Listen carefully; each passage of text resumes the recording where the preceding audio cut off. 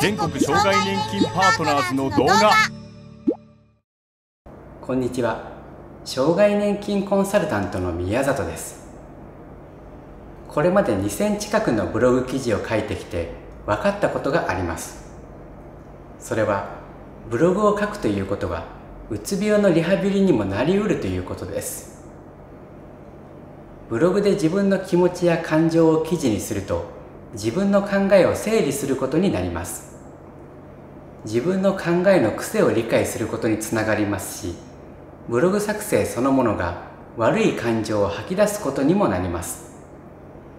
実際私もブログを書くことで気持ちが前向きになることが多いのです。やはり人間ですのでどうしてもマイナスな思考に陥ってしまうこともあります。そんな時日課になっているブログ作成を行うと記事が出来上がる頃には気持ちが前向きになるのです。ブログ作成という生産的な活動がプラス思考につながっているのかもしれません。これは実際にブログを書いている人しかわからないと思います。うつ病で気分の落ち込みが続いているのならぜひ一度ブログを書いてみてください。全ての人に効果があるわけではないでしょうがあなたとブログの相性が良ければうつ病の症状が改善するかもしれません。ただ一点注意してほしいことがあります。それはコメント欄の使い方です。ブログには通常コメント機能がありあなたの記事を読んだ人がコメントすることができます。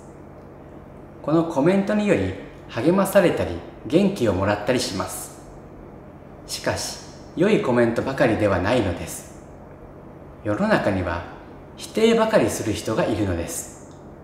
そのような人に絡まれると大変です。場合によっては変な人にイチャモンつけられた結果余計に落ち込んでしまう恐れもあるのです。なのでブログでコメント機能を使うのであれば承認制にすると良いでしょう。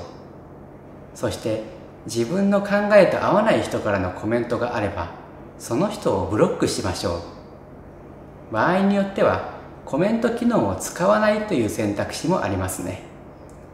ちなみに私たち全国障害年金パートナーズのブログではコメントできないように設定しています。ほとんどの人は素敵なコメントをくれるのですが50人に1人くらいはおかしな人が絡んできますので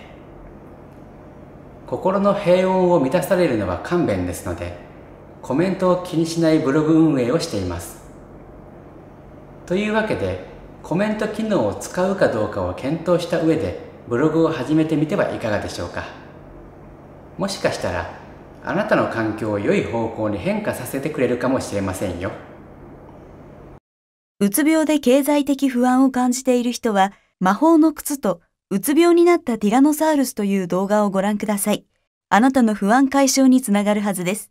また、あなたのうつ病で障害年金を受け取れるか、私たちが無料で判定しますので、画面右上のリンク先からお申し込みください。